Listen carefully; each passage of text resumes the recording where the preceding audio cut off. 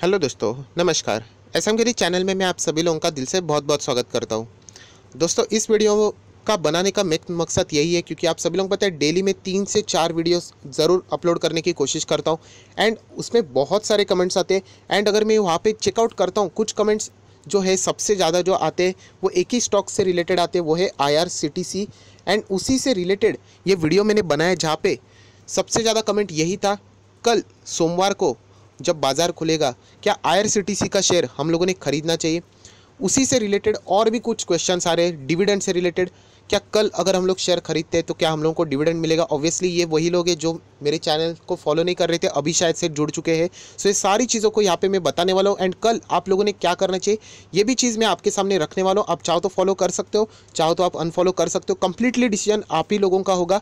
So video को start करने से पहले आप लोगों को कुछ चीज़ें बताना चाहता हूँ, जैसे कि आज के दिन की बात करें संडे के दिन की बात करें तो दो वीडियो यहाँ पे मैंने ऑलरेडी अपलोड कर दिया आप यहाँ पे देख सकते हैं एक रिस्की मिड कैप स्टॉक जो मेरे पोर्टफोलियो में, उससे रिलेटेड ये वीडियो मैंने यहाँ पे बना दिया है। तो ज़रूर इस वीडियो को देख लेना। नीचे डिस्क्रिप्शन बॉक्स में लिंक मिल जाएगी।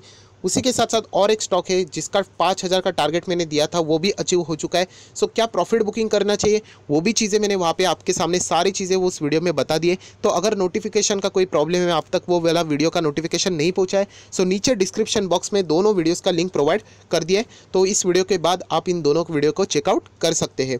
तो चलिए फ्रेंड्स अभी हम लोग आ जाते हैं आई के ऊपर। सो so, दोस्तों अभी आप देख सकते हैं आई का शेयर यहाँ पे तो मैंने ओपन कर दिया है। एंड जो सबसे मेन क्वेश्चन यही था क्या यहाँ पे हम लोगों ने कल फ्रेश बाइंग करनी चाहिए या नहीं? तो ये सारे सिनारियो मैं आपके सामने ज़रूर डिस्कस करूँगा बट उससे पहले जो हमारा नॉर्मल क्वेश्चन है उसको मैं निपटा लूँ जो था डिविडेंड से रिलेटेड आप यहाँ पे देख सकते हो आईआरसीटीसी का शेयर ये एन के ऑफिशियल वेबसाइट पर मैं आ चुका हूँ। आज का तारीख है twenty third Feb two and कल का दिन है फ्रेंड्स यहाँ पे एक्स डेट बताए ट्वेंटी फोर्थ फेब मतलब कल का दिन कौन सा है? मंडे का दिन है। एंड सब लोग यही पूछ रहे हैं क्या ये मुझे दस रुपये का डिविडेंड मिलेगा? जो लोग मेरे चैनल से जुड़े हैं उनको अभी आंसर मिल चुका है। आप सभी लोगों को पता है ट्वेंटियथ तारीख की आखिरी डेट था मैंने आप लोगों को बता दिया था। सो यस फ्रेंड्स आप लोगों को कोई भी डिविडेंड कल खरीदते तो नहीं मिलने वाला है। सो so, याद रखना अगर आप कल शेयर खरीदते तो शेयर आपके डिमेट अकाउंट में आ जाएगा दो टी प्लस टू के हिसाब से। बट ये दस रुपये का डिविडेंड आप लोगों को नहीं मिलेगा क्योंकि वो रिकॉर्ड डेट जो होती है ट्वेंटी फिफ्थ फेब बहुत सारे लोग आपको कहते हैं ट्वेंटी फिफ्थ को भी खरीदोगे तो ऐसा नहीं ट्वेंटी फिफ्थ ये रिकॉर्ड डेट कंपनी के लिए होती है। पच्चीस तारीख को कंपनी के बुक्स ऑफ़ अकाउंट्स में रजिस्टर ओपन करेंगे शेयर होल्डर्स का। उसमें आपका नाम पहुँचना चाहिए था एंड वो पहुँचने के लिए मैंने आप लोगों को कहा था कि बीस तारीख तक अगर आप खरीदते हो तो आप लोगों को वो नाम पहुँच जाएगा। मतलब अगर आप कल भी खरीदते हो चौबीस को तो यहाँ पे कोई भी मतलब डिविडेंड शेयर के ऊपर आप लोगों को नहीं मिलने वाला है। तो चलिए फ्रेंड्स, यहाँ पे जो डाउट था आप लोगों का, ये सबसे पहले क्लियर कर लिया। बट जो मैक्सिमम लोग यहाँ पे जो वीडियो का देखने वाले, जो मकसद रखते, वो यही क्वेश्चन से रिलेटेड रहते। कल सोमवार को क्या हम लोगों ने यहाँ पे आई में फ्रेश पोजीशन रखनी चाहिए? ये सबसे ज़्यादा क्वेश्चन यहाँ पे आ रहा है। सबसे पहले मैं आप लोगों को बता देना चाहता हूँ, बहुत सारे दिग्गज ब्रोकर्स ने आईआरसीटीसी का टारगेट 2000 रख दिया है एंड इसीलिए बहुत सारे लोगों का क्वेश्चन यही दिमाग में आ रहा है, क्या हम लोगों ने यहाँ पे फ्रेश बाइंग करनी चाहिए या नहीं? सबसे पहली बात, हर एक इन्वेस्टर अलग अलग होता है। जैसे आप सभी लोगों को है, मैं बहुत ही ईजी लैंग्वेज में समझाने की कोशिश करता हूँ क्रिकेट की बात। क्रिकेट में ओपनर से लेकर अगर हम लोग बात करें बॉटम तक, जो लास्ट प्लेयर खेलता है हर एक बैट्समैन अलग होता है। तो वैसे मैं यहाँ पे कहना चाहता हूँ, हर एक निवेशक भी अलग होता है। सबसे पहली बात, अगर आप यहाँ पे फ्रेश पोजीशन उठाना चाहते हो, कल के कल ही तो वही लोग उठाना जो लोग यहाँ पे लॉन्ग टर्म की सोच रहे हैं। यस फ्रेंड्स अगर आप लॉन्ग टर्म होल्ड करने की बात कर रहे हो मतलब बहुत सारे लोग कह रहे हैं, सर, मैं इसमें तीन साल होल्ड करूँगा। मैं इसमें पाँच साल होल्ड करूँगा। अगर आपका नज़रिया इतना लंबा है तो आप चाहो तो ये रिस्क वाला डिसीज़न उठा सकते हो। इसमें कोई भी दिक्कत नहीं है, क्योंकि तीन से पाँच साल के बाद थोड़ी ना आई से इसी लेवल पर रहेगा, वो डेफिनेटली आगे जाएगा। सो जिनका नज़रिया तीन से पाँच साल है, वो चाहे तो ये वापस में बोल रहा हूँ, ये रिस्क उठा सकते हैं। अभी आ जाते हैं नेक्स्ट क्वेश्चन के ऊपर। क्या हम लोगों का जो नज़रिया वो शॉर्ट टर्म का है? मतलब हम लोग दो से तीन महीने, चार महीने या फिर कुछ दिनों तक ही इस शेयर को होल्ड करके जिस तरीके से भाग रहा है अस्सी अस्सी रुपया, उसको हम लोग शॉर्ट टर्म में खरीद के बेच दे तो क्या हमें प्रॉफिट हो सकता है? हो भी सकता है, नहीं भी हो सकता है, इसकी गारंटी कोई नहीं दे सकता है फ्रेंड्स बट मैं ये ज़रूर कहूँगा, जितने भी हम लोग जो इंडिकेटर्स देखते हैं, मैगडी हो, आरएसआई हो जितने भी अगर हम लोग यहाँ पे बॉलिंजर बैंड से रिलेटेड हर एक जो टेक्निकल चार्ट से रिलेटेड हर एक पैरामीटर्स अगर हम लोग चेक भी करते हैं, उसमें एक ही चीज़ उन्होंने बताई है कि आईआरसीटीसी बहुत ही ज़्यादा ओवर वैल्यू हो चुका है।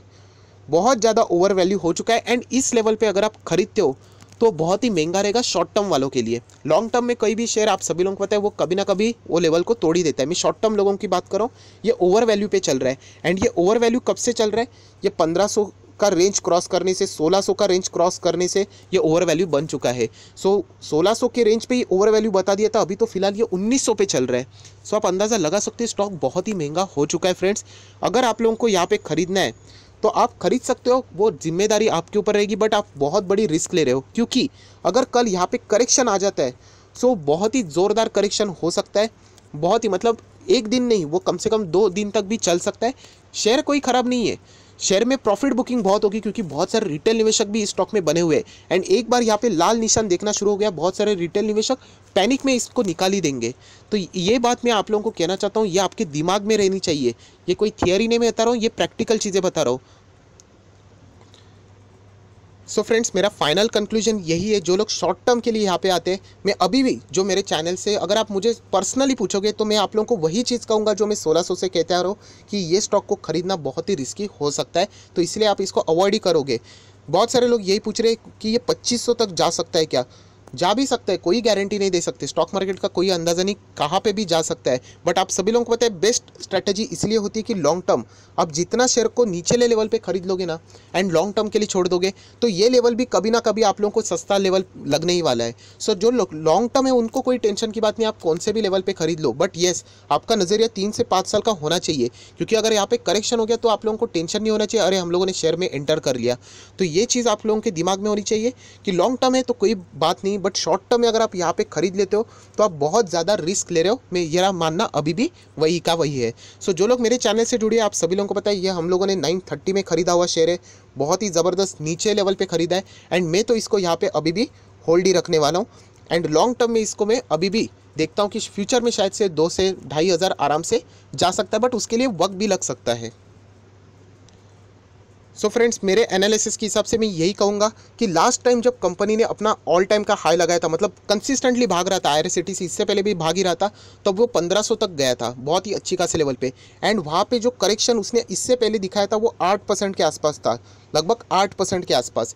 सो आठ परसेंट उतना हुआ था तो मैंने आप लोगों को एक लेवल दिया था one three eight zero so ये हिस्ट्री के हिसाब से हम लोगों ने आठ परसेंट यहाँ पे देख लिया था एंड वो एक्जैक्टली हम लोगों का सही बैठ गया एंड हम लोगों को share exactly one three eight zero पे मिल भी चुका था। सो so, अभी जो लोग नॉर्मली यहाँ पे फॉलो करना चाहते हैं, जो कि डीप में बाय करना बोलते हैं हम लोग, बहुत ही नीचे आना चाहते उन लोगों ने यहाँ पे वेट करना चाहिए, देखना चाहिए शेयर में करेक्शन कितना है। मुझे ऐसा लगता है कि अभी शेयर जो आठ परसेंट से है, वो आठ परसेंट ने अभी दस परसेंट तक भी यहाँ पे करेक्ट हो सकता है मतलब यहाँ से लगभग 200 पॉइंट नीचे भी शेयर आ सकता है। अभी 200 पॉइंट कौन सा? यहाँ से करंट लेवल करंट लेवल भी हो सकता है, या फिर ये स्टॉक 2000 तक भी जाने के बाद वहाँ पे 200 परसेंट वो करेक्ट हो सकता है 200 पॉइंट करेक्ट हो सकता है। सो so फ्रेंड्स मैं यही कहना चाहूँगा, जो लोग यहाँ पे शॉर्ट टर्म के लिए जा रहे हैं, वापस मैं कह रहा हूँ, कल आप लोगों ने एक ही काम करना चाहिए। अगर आप अपने को सेफ़ रखना चाहते हो तो नॉर्मल एक स्मार्ट निवेशक जो हम लोग कहते हैं, एक नॉर्मल स्मार्ट निवेशक, वो आईआरसीटीसी को फ़िलहाल शॉर्ट टर्म के लिए अवॉइड ही करेगा, क्योंकि स्टॉक ओवर वैल्यू हो चुका है।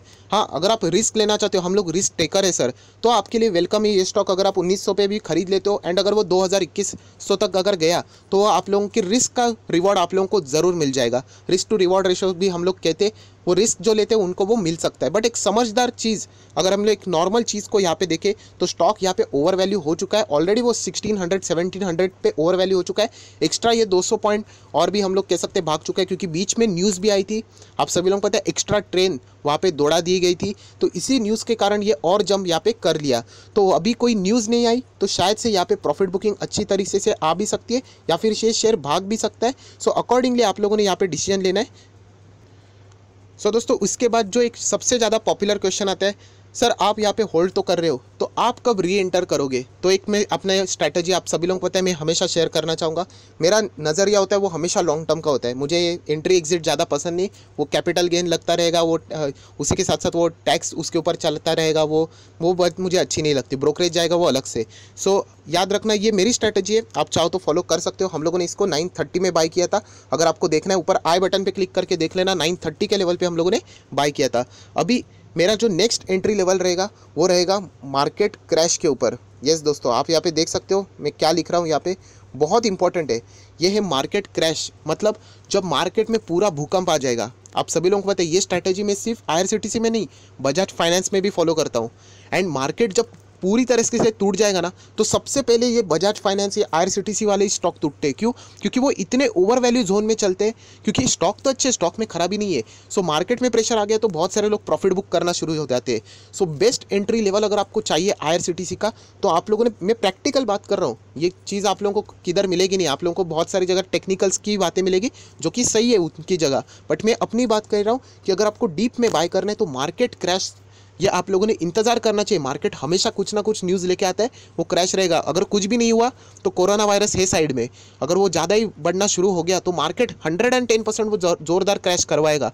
एंड उस क्रैश में क्या हो जाएगा, ये ऐसे स्टॉक रहते हैं हम लोगों को, वो अच्छे खासे दो सौ पॉइंट नीचे, ढाई पॉइंट नीचे मिल जाएँगे। जब सारे लोग एग्जिट करने की बात करेंगे, तब मैं आप लोगों को कह दूँगा वापस वीडियो बना के कि आप लोगों ने एंटर करना चाहिए। सो ये मेरी स्ट्रैटेजी रहती है, क्योंकि अगर आप यहाँ पे देखोगे टेक्निकल्स तो कोई भी यहाँ पे बनी नहीं रहा।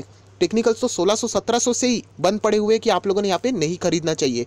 सो बेस्ट वे यही है कि ये स्टॉक को बूस्ट कैसे मिला?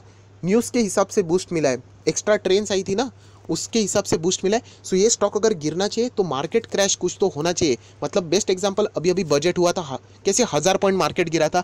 एक्चुअल में कंपनी में कुछ खराब नहीं हुआ था। हज़ार पॉइंट जब बजट के बाद हम लोग को गिरावट देखने को मिली, वापस मार्केट ने रिकवरी की तो तब हम लोग जाके यहाँ पे एक्चुअल में बाय करेंगे। ये एक्चुअल स्ट्रैटेजी हम लोग फॉलो करते, जिसका फ़ायदा मुझे कितने सालों से कभी ना कभी होते ही रहा है। सो यही मैं बात आप लोगों को कहना चाहता हूँ, अगर आप लोग यहाँ पे लॉन्ग टर्म निवेशक है एंड डीप में बाय करना चाहते हो तो सही मौका आप लोगों ने लगाना चाहिए। ऐसा नहीं कि बस पैसा आ गया और लगा दिया मार्केट में बस, और उसके बाद हो जाएगा वो भगवान भरोसे छोड़ दिया। ऐसा नहीं। मार्केट क्रैश हो जाने दो, तभी ये शेयर कितना भी भागे, पच्चीस सौ भागे, तीन हज़ार भागे, मार्केट क्रैश की न्यूज़ कुछ ना कुछ आ जाएगी तो हम लोगों को वो मौका ज़रूर देगा ये स्टॉक। और बहुत सारे अच्छे अच्छे स्टॉक में हमेशा एक वीडियो बनाता हूँ, स्टॉक मार्केट में लगाए सेल। समझ जाना, तभी हम लोगों को अच्छे खासे शेयर सस्ते दाम में मिल रहे होंगे।